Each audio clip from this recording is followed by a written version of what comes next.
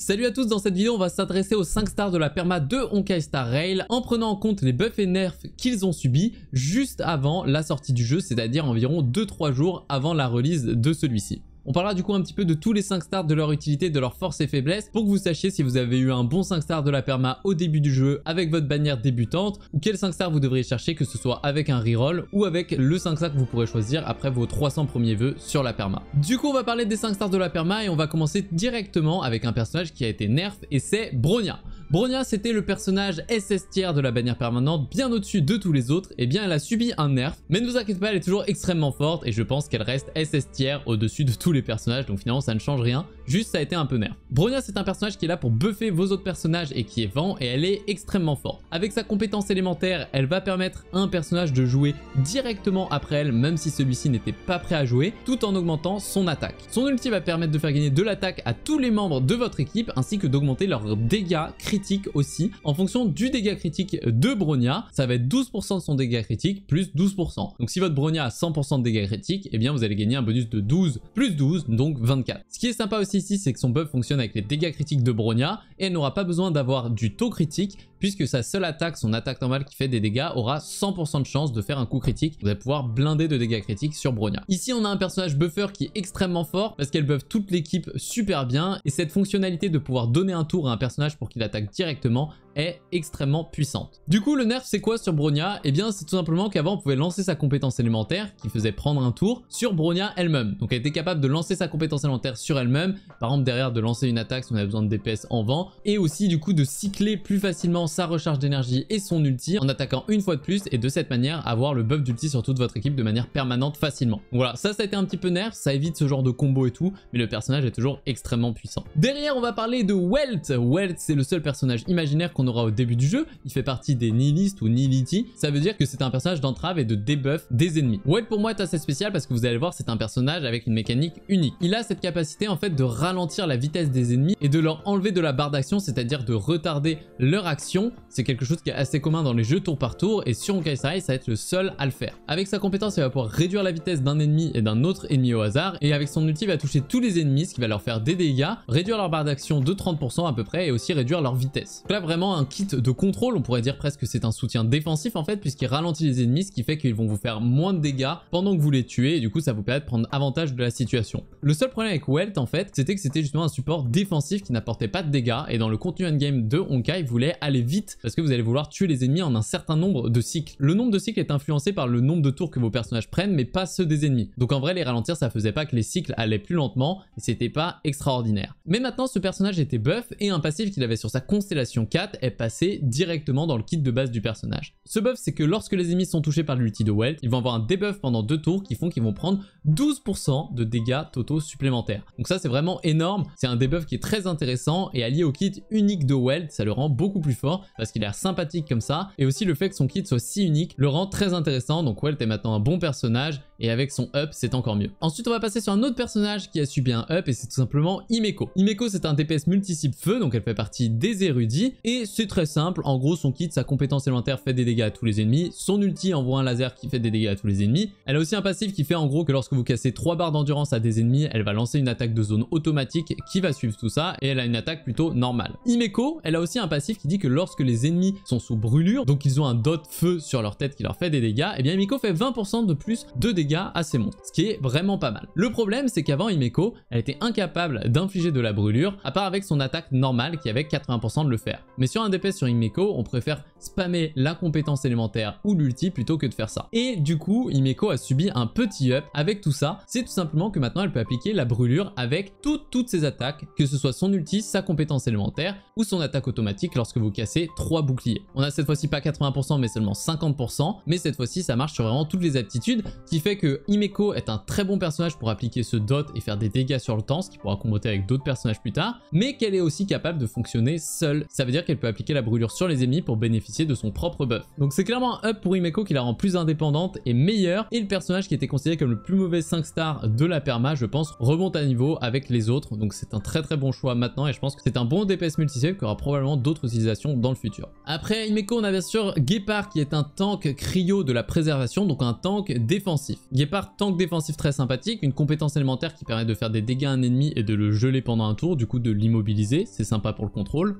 Et l'ulti, c'est tout simplement un shield qui va se mettre sur tous vos alliés pendant 3 tours, qui va être équivalent à 30% de la défense de Guépard, plus 150. C'est ici qu'il y a eu lieu un petit changement sur Guépard. La valeur de son shield a été augmentée, donc il est un petit peu plus fort, ce qui est un buff pour le personnage et ce qui le rend un petit peu plus sympathique. Une des mécaniques de Guépard, c'est aussi que lorsqu'il meurt, il va pouvoir ressusciter une fois, et lorsqu'il ressuscite, sa jauge d'ulti sera remplie au maximum, donc vous pourrez directement shield toute votre équipe. Il aura aussi une capacité qui lui donnera plus de chances d'être attaqué par les ennemis, donc c'est vraiment un bon tank ici. C'est un personnage de la perma plutôt mid-tier, on va dire, il remplit très très bien son rôle. Et si vous l'avez, vous serez content de l'avoir pour ce shield et notamment cette provocation. On va passer maintenant à l'autre tank de la perma et c'est Clara. Clara est bien sûr son robot Svarog. Clara comment ça fonctionne? Quand elle est sur le terrain, à chaque fois qu'elle est tapée, elle va prendre 15% de dégâts en moins parce que Svarog va la protéger et après ça, Svarog va contre-attaquer avec une attaque mono-cible sur l'ennemi. Donc à chaque fois que vous prenez des dégâts, boum, contre-attaque. Et ces dégâts sont assez forts, donc Clara est une très bonne unité de tank et de DPS à la fois. Lorsque Svarog contre-attaque, il va aussi marquer les ennemis et ça va être intéressant parce que par exemple quand Clara lance sa compétence élémentaire, si elle touche des ennemis marqués par la marque de Svarog, Svarog en profitera pour mettre un deuxième taquet à ceci et faire un petit peu plus de dégâts. Clara a subi un petit nerf, mais vous inquiétez pas, c'est pas très très gros. Avant, Svarog, quand elle se faisait taper, la protégeait de 15% des dégâts reçus, maintenant ça ne sera plus que 10%, donc on a une réduction de son potentiel de tank ici,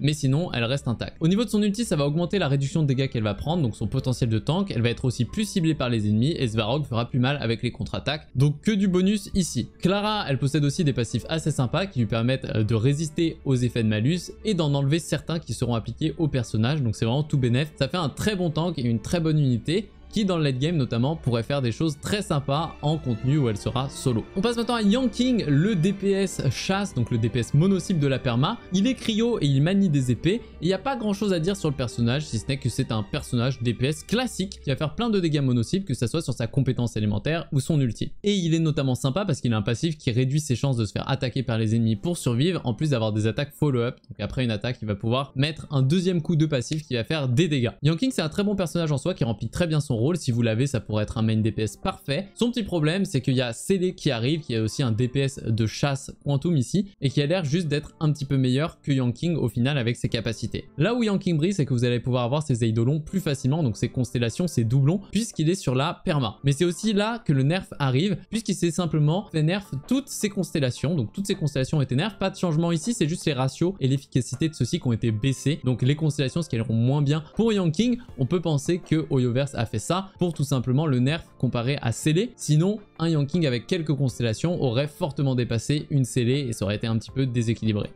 Bailou c'est le dernier personnage de la perma, c'est tout simplement le healer, donc le personnage abondance de celui-ci en électro. Bailou c'est un personnage qui est tourné autour d'huile, vous allez voir elle ne fait que ça, mais elle le fait plutôt bien, ce qui fait que ça sera un bon personnage au début du jeu pour passer les contenus difficiles facilement, mais qu'on peut s'attendre à ce que sur le long terme, elle se fasse forcément power creep par d'autres healers qui iront sûrement aussi bien, en plus d'apporter d'autres fonctionnalités ou avantages. Donc sa compétence élémentaire, très simple, Bailou ça va soigner un allié puis les resoigner, et son ulti c'est aussi très simple, ça va soigner tous les ennemis et leur accorder ou prolonger l'effet qu'ils auront sur eux, un effet qui dure deux tours et qui fait qu'à chaque fois qu'un ennemi est attaqué, ça va tout simplement le soigner en fonction des PV de Bailou. Donc là on a un healer qui scale sur les PV et qui va pouvoir soigner, soigner et mettre un état sur les alliés qui fait qu'ils sont soignés lorsqu'ils se font attaquer. Donc du soin, du soin et du soin. Le petit changement qu'on a eu sur Bailou, c'est très simple, c'est sa technique. Donc c'est le sort qu'on utilise avant de rentrer en combat si on veut se buffer qui change. Avant il mettait l'effet revigoration sur vos personnages pendant un tour, maintenant ça va être deux. Donc voilà l'effet est un petit peu plus fort si vous avez besoin de rentrer en combat. Vous aurez cet effet de heal sur vos personnages pendant deux tours. C'est la seule modification qu'on a eu sur Bailou. Voilà, je vous ai présenté tous les personnages 5 stars. Maintenant, quelles sont les priorités selon moi de ces personnages? Eh bien, avec ces buffs et nerfs, il y a eu des petits changements, des personnages qui sont un petit peu remontés dans le classement, mais je pense qu'il n'y en a aucun qui est descendu de la place où il était. Donc en gros, en top top tier, on a bien sûr Bronya, toujours un personnage incroyable, un buffer insane. Les buffers, c'est très très fort dans Kai Star Rail, on peut faire un combo de buff avec Ting Yun et Bronya qui est incroyable. N'importe quel main DPS devient une machine de guerre, vraiment toujours très forte, aucun souci, même si cette compétence a été changée. En deuxième choix, il y a un personnage que j'aurais mis un petit peu dans la masse commune avec beaucoup d'autres personnages, parce que vous allez voir qu'il y a beaucoup de 5 stars à peu près au même niveau. Et ce personnage, c'est Welt. Mais maintenant, il est bien plus haut. Pourquoi? Parce que je vous ai dit, Welt avait un problème, avant il était seulement défensif, etc.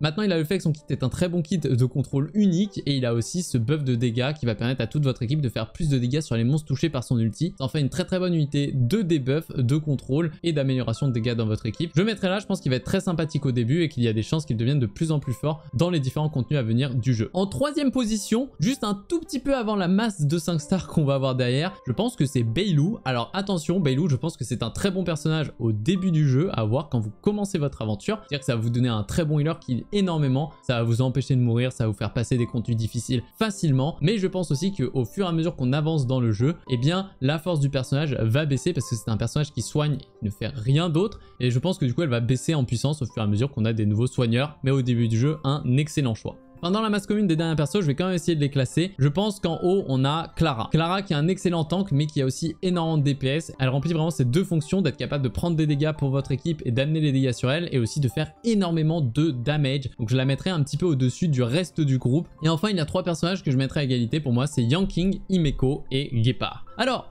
Yanking et Imeko, pourquoi ils sont là? Je pense que c'est des très bons DPS au début du jeu, un petit peu comme Beilou était un bon soigneur, mais des DPS, c'est le rôle qu'on a le plus dans Honkai Star Rail, et c'est aussi le rôle qui va se faire power creep le plus facilement, tout simplement avec l'arrivée déjà de Célé et Jingyuan. Jingyuan qui va être un DPS multi-cible très très fort, et Célé un DPS mono-cible très très fort, et je pense que les DPS dans ce genre de jeu, c'est souvent les personnages qui sortent le plus, et du coup ceux de la perma vont forcément se faire power creep. Très très bon choix au début du jeu, il n'y a pas à s'inquiéter, c'est un excellent starter, mais je pense que dans le long terme, ça va un petit peu baisser, c'est pour ça que j'ai mis à ce niveau. Et à côté, j'ai mis Guépard. Alors Guépard en vrai, c'est un petit peu un piège. Je sais pas trop où le situer, mais pour l'instant j'ai l'impression que son bouclier il est très bien. Mais le fait qu'il apporte qu'un bouclier et se contrôle en gênant un personnage, c'est pas vraiment si j'ai envie de le jouer. Est-ce que ça remplace vraiment mon healer? Est-ce que je peux rentrer Guépard et sortir un healer? Ou est-ce que c'est pas assez? Malheureusement je l'ai pas eu pendant la bêta et je peux pas trop savoir donc je le mettrai là. Je vous rappelle que les personnages qui sont en bas de la tier ça veut pas dire qu'ils sont nuls. Franchement tous les personnages de la perma Honkai Star Rail sont très bien. Mais c'est un petit peu mon ordre de préférence si j'essaye d'y réfléchir de manière un petit peu